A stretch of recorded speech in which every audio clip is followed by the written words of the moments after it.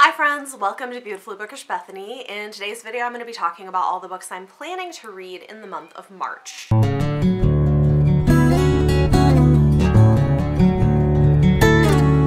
Okay, so time to talk about reading in March. Uh, who is surprised that I have a lot of things that I'm reading for the many things that I keep committing to?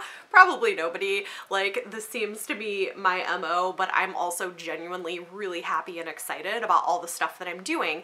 So let's go ahead and dive in and talk about all of those things. First up, this month for the Patreon book club, the genre was sci-fi, and the book that my patrons voted for us to read together is A Big Ship at the Edge of the Universe by Alex White.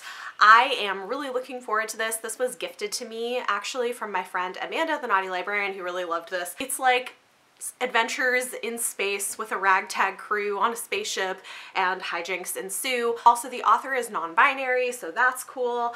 I'm really looking forward to this. This is what we're going to be reading together. Every month my patrons get to vote on a book that we will read together based on the genre of the month and this is it, so looking forward to that. Then every month my patrons are entered into a raffle and the winner gets to select a book they want to see me read and review from my TBR in the coming month.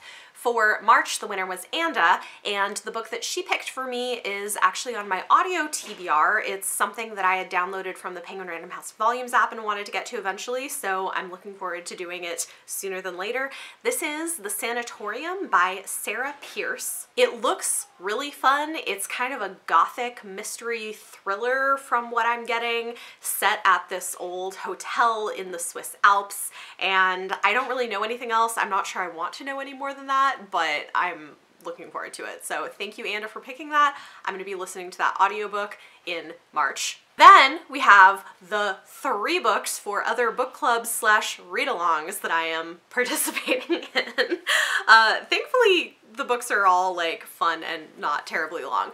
First up, myself and Ashley over at Bookish Realm are continuing to host the Song of the Lioness Quartet read along. We're moving on to book two, which is In the Hand of the Goddess by Tamora Pierce. I love this series a whole lot and I'm really enjoying diving back into a reread yet again. So this is a first read for Ashley. In March, the live show is going to be over on her channel and if I have the information when this goes up, I will link that down below, but I'm going to be reading this. Then, if you haven't seen the announcement video yet, I and Michelle from Thor Wants Another Letter are launching a Indigenous romance read-along starting in March, which I'm excited for. It's going to go for six months, and we have romances, one each month, that we're going to be reading that are by Indigenous authors. So the first one is Heartbeat Braves by Pamela Sanderson, and this one is an adult contemporary romance. I hear really good things about it. I'm looking forward to it. We're going to be doing a live show, and hopefully other people will join in as well.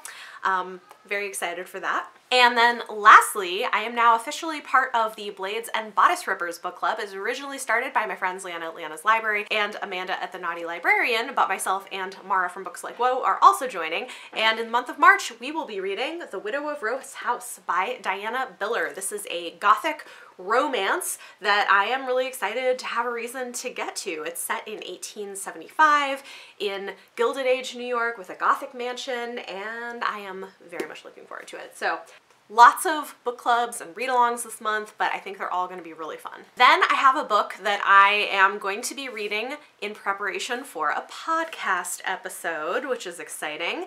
This is Guards Guards by Terry Pratchett. Maybe I will even vlog this. I have never read a Terry Pratchett book before, and I am having Alan from the Library at Alexandria on a future podcast episode where he will be talking all about Terry Pratchett and Discworld. And going into that, I wanted to have at least read one book by him, so I'm going to be reading this early in the month, and I am excited. I hope I like it. We'll see. It'll be it'll be interesting. Alan is the person whose video about it convinced me to finally give Terry Pratchett a try. So that is going to be happening in March. Then we basically just have a whole bunch of books for review. I've got a few physical ones. I've got some e-arcs. We're going to talk about all of it. First up, I have a historical romance that looks like a lot of fun. This is The Spinster and the Rake by Eva Devon. This was sent to me by Entangled Publishing, and it's being pitched as a blend of My Fair Lady meets Pride and Prejudice. I really like both of those stories. I'm curious to see how it gets blended, but it looks like fun, so I'm planning on reading that one. Then an arc that I got from Penguin Teen of a book that's coming out in April that I'm hoping to get to next month is House of Hollow by Krystal Sutherland. I love the cover on this one and I'm really, really curious about it. I have high hopes for it. I hope it's like as good as I want it to be. It's a YA debut that's like creepy mystery thriller meets magical realism about these two sisters who, when they're young, disappear. Two sisters, three sisters?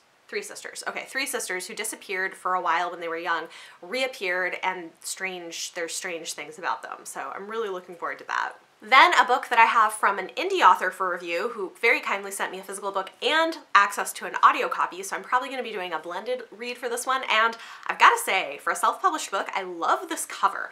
This is The Hand That Takes by Taylor O'Connell, book one in the fall of the Coward series. This was pitched to me as grimdark fantasy, uh, fantasy thriller, good for fans of Scott Lynch, Robin Hobb, and Patrick Rothfuss, which is like Okay, very interesting. I love the cover. I love the vibe. I'm excited to see how it goes. It says it's a magical artifact, a violent crime syndicate, a thief in over his head. Salvatore Lorenzo seeks to make his place in the world, but first he must survive the mean streets of Dijvoy? Dijvoy? I don't know if I'm saying that right. In a city run by gangsters, a life of crime is nothing short of ordinary, especially to a young thief living in Lowtown. Opportunity comes knocking after Sal is tasked with the theft of a magical locket. When the heist of the century goes awry, fingers are pointed in the hunt for a rat within the crew. Once bodies begin to drop, it's left to Sal to find the source before he finds himself the next victim wearing a red smile. Um, so yeah, sounds really interesting. Thank you to Taylor for sending along a copy. I will be reading that one in March. I have, there's another book that I am expecting for March uh, so if it arrives in time, I should be reading it. It's called Isoldesse. Isoldesse. I don't have the information in front of me, but I will put a picture up here.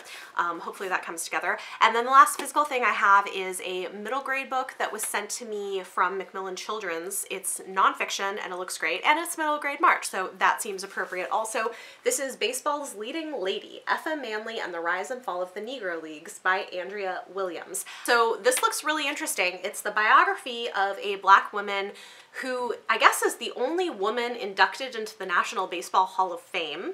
She was an activist. It looks really cool. Um, it's got pictures inside it. It's got large text, so it probably wouldn't take long to read. Um, but I just loved the idea of this as a nonfiction title for a middle grade audience, so I will be reading that as well. And then, of course, we have my NetGalley arcs. Is anyone surprised? All right, what do I have? First up, I have a historical romance with, I think, like a mystery element to it. This is called One Thing Leads to a Lover by Susanna Craig. I read the first book in this series last year and really loved it, and so even though I already had more March arcs than I was supposed to for NetGalley, when I saw it go up, I was like, oh, but I really want to read that. so I requested so I requested it. Um, yeah, I really liked the first book. I have high hopes for the second one. I also have The Cost of Knowing by Brittney Morris. This is probably the one I'm most nervous about because it's a super hard-hitting uh, we'll see. We'll see if I can get through it. Um, it's a super hard-hitting book with some slight speculative elements to it, dealing with race and police brutality and death, and I hear that it's just like really, really gut-wrenching, so hopefully I can like make it through that one.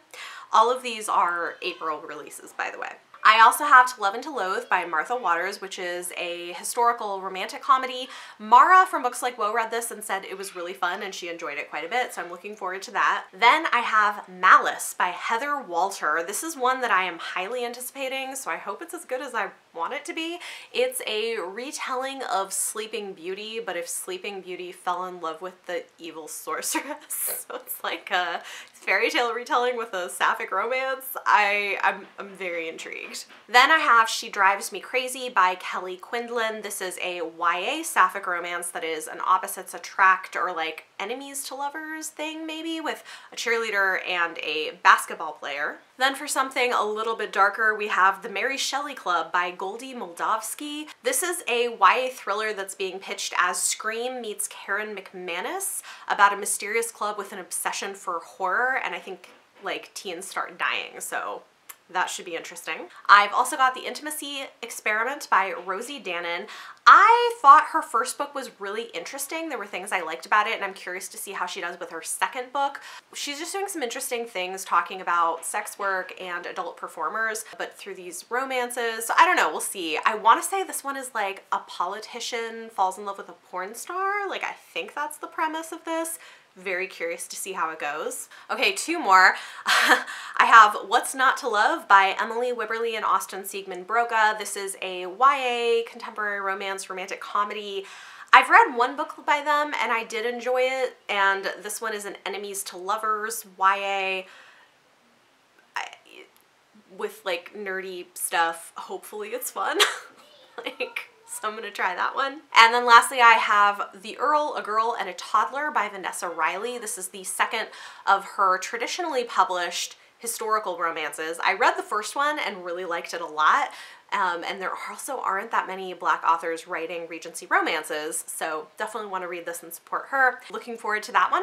And I think that is it. Like those are the things on my TBR which it, it's kind of a lot. I'll probably read some other things. It's possible I won't get to everything on this list, but um, most of it if not all of it, I do plan to read in March. Talk to me in the comments down below. Let me know any of your thoughts or feelings on anything I talked about in this video. And for your question of the day, let me know what you're planning on reading in March. Are you planning on participating in middle grade March? Or are you reading mysteries for March? Like I've seen people do both of those things. Let me know in the comments down below what your plans are.